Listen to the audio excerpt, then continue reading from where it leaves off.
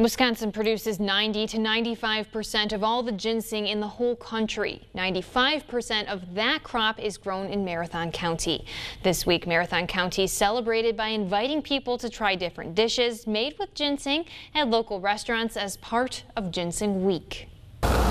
The menus of some restaurants in Wausau looked a bit different this week. Pumpkin ginseng muffins and coffee cake, ginseng infused latte. La Prima is one of the restaurants that is taking part in Marathon County's Ginseng Week. The entree with the salmon is something we make. The ginger and ginseng just seem a natural fit. Marathon County produces nearly all of the country's ginseng, so the restaurants are showing people how the root can be used in everyday food. By asking the restaurants to get involved, it gives people an idea of how to use ginseng in their own cooking and just get a taste of how that flavor gets incorporated into um, cuisine in other parts of the world. It was such a popular idea that the Great Dane already sold out of its ginseng dishes. We had a Chinese herbal chicken soup. People liked it. It was an interesting thing to offer for the week. The ginseng was given to restaurants like the Great Dane and La Prima by the Ginseng and Herb Co-op in Marathon County.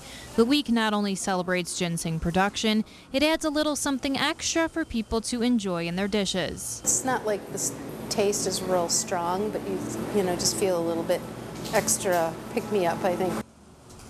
If you've had any of the dishes at each restaurant, you can vote for your favorite on the International Wisconsin Ginseng Facebook page. We have a link to that page on our website.